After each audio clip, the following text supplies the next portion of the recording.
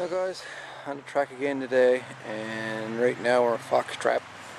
And the tracks did go straight across here at one point. And end up way over there. But yeah. This whole intersection was redone about 10, 10 years ago or so.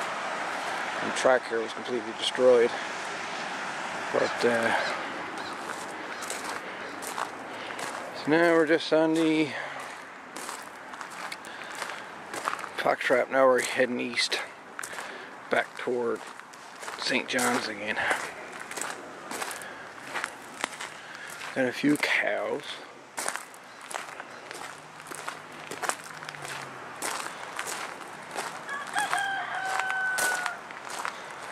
And a hen or a rooster.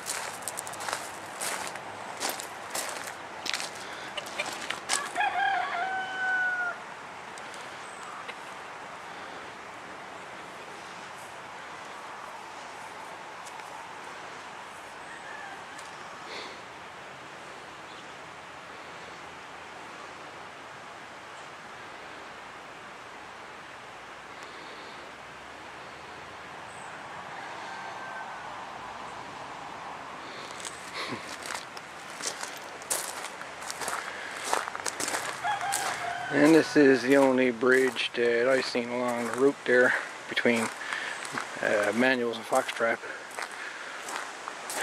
I really can't get any pictures outside on. It's private property on both sides. It's got a house directly on the left here, but I won't put him in the frame. Anyways,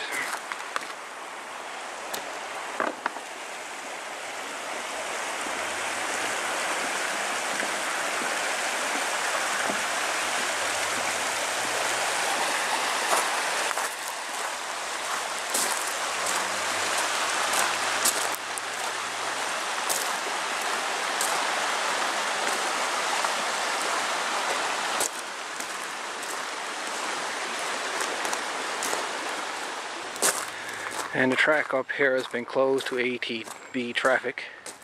You've got multiple barriers up here in CBS.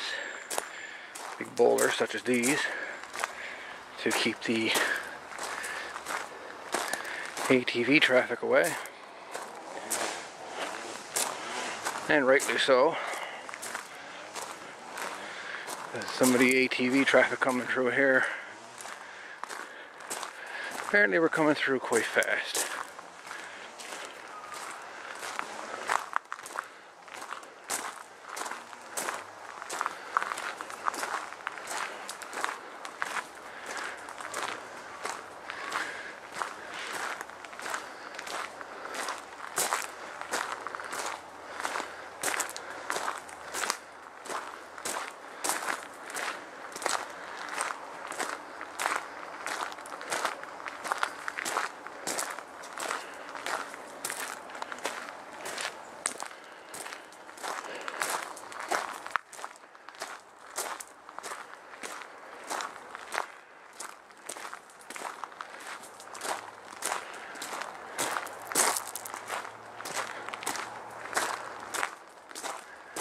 There's not a whole lot to see on this section.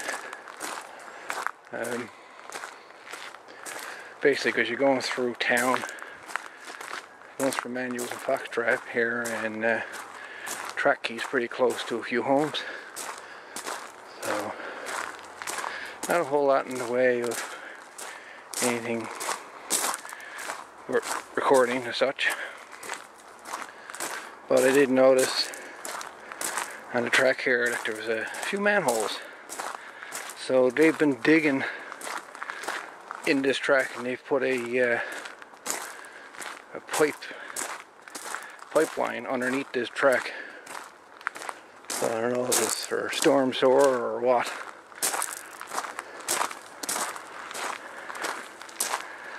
Anyways, anything comes up, I'll get right back to you.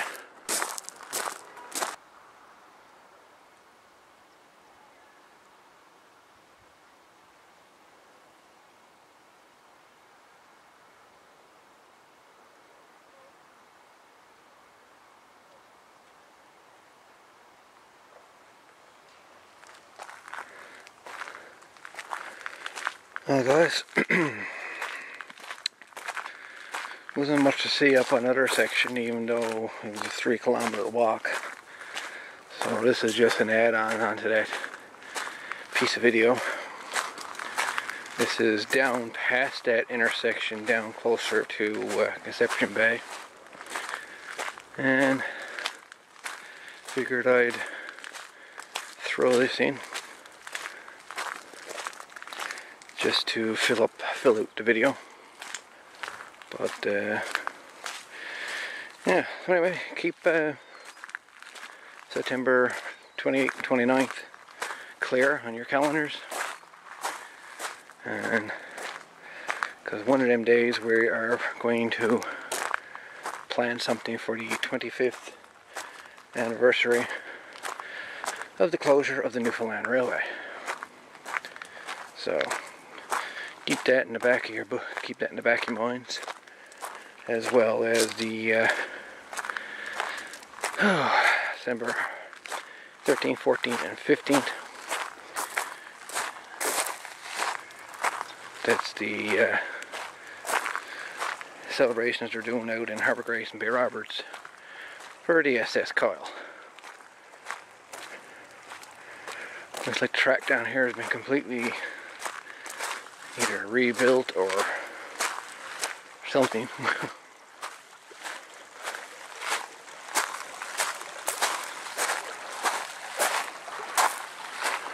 believe the trestle is still intact here.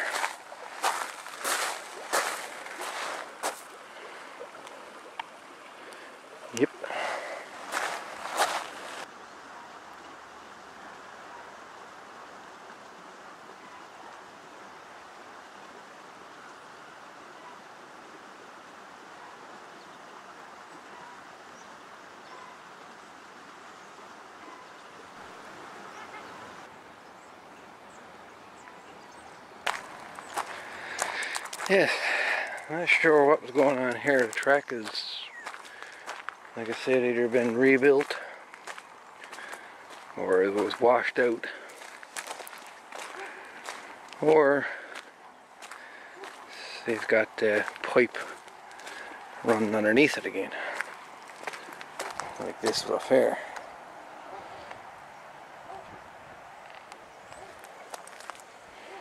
Quite possible, but I don't know.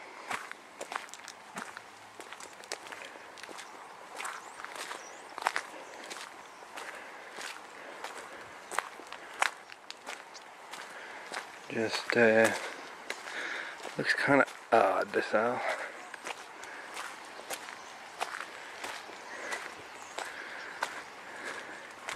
Oh yeah, definitely. They were definitely burying something here go pipe there on the right, or on the left rather. Yeah, they're using the track bed and CBS for carrying uh, water lines, sewer lines and stuff. Storm source. Interesting. Hmm.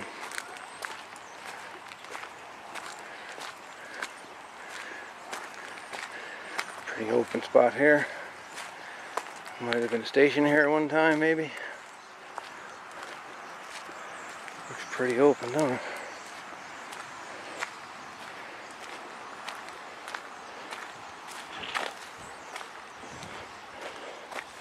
Uh, yeah, they've got the pipe installed under the track bed. Very interesting.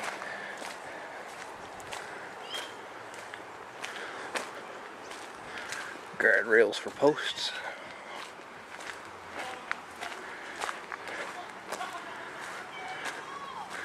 It's a fairly active place down here. CBS.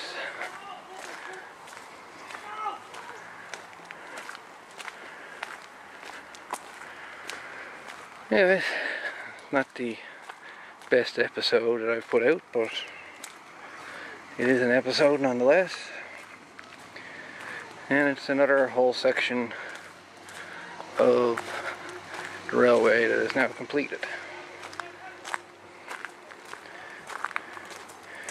As of yesterday, I counted up all the uh, the kilometers that I've after put together that I've walked, and uh, something like 492 kilometers return trip. That's crazy.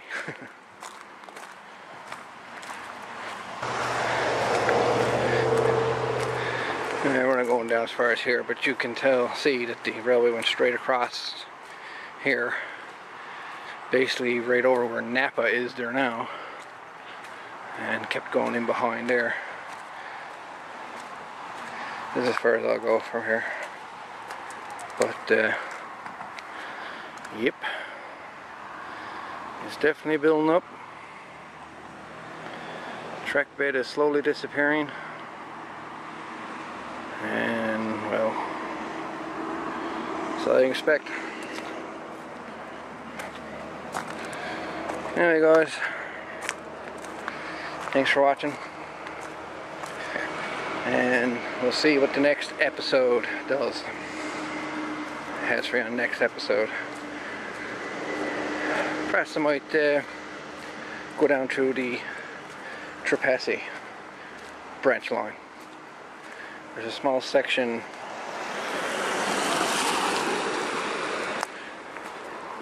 there's a small section by the Trepassey branch that uh, I want to finish in Cappahayden.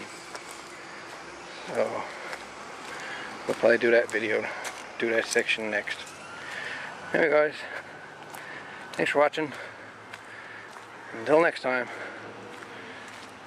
keep walking. Keep walking the tracks, boys. All the best.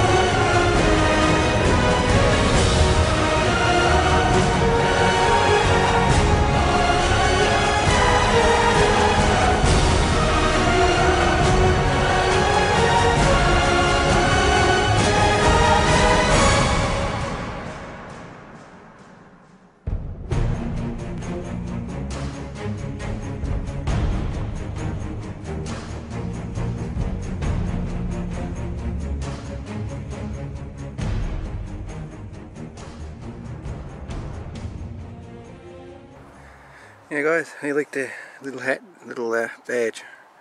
Newfoundland Railway. My buddy Kevin uh, gave me that badge, their uh, patch a few weeks ago. And yeah, so taking a little break here in the woods, as you can see, off the pat, off the track. And I got to say, uh, I had a very good summer this year. Done a lot of metal detecting and whatnot, and found some really good things. Um, now, September 29th, uh, 2013, uh, we're trying to put an event together on our uh, group, Newfoundland Railway, Exploring Newfoundland Railway Facebook group. And, uh, well, basically, September 30th, 2013, this year, marks the 25th anniversary of the closure of the Newfoundland Railway. And as of now, there's nothing seems to be planned as such that, that I'm aware of for this 25th anniversary. Um, so I was talking to a couple of people, and uh, there's a few people definitely interested in trying to put some put something together to recognize the 25th anniversary. So we're trying, we're planning on contacting the, uh, Railway Coastal Museum down on Water Street in St. John's, and uh, the town of Avondale as well. And uh, see if they might be interested in putting something together or helping us put something together for that matter. So yeah nothing you know nothing on paper yet but we're definitely trying to do something for September 29th uh, the 30th is on a Monday and uh, anybody's working Monday is not usually a good day for a lot of people, including me. I'm starting a new job now this Monday coming, so can very well last for a day off already. So we're going to plan this for on the weekend, September 29th, uh, September 28th or September 29th, one of those two days we're going to plan this event for.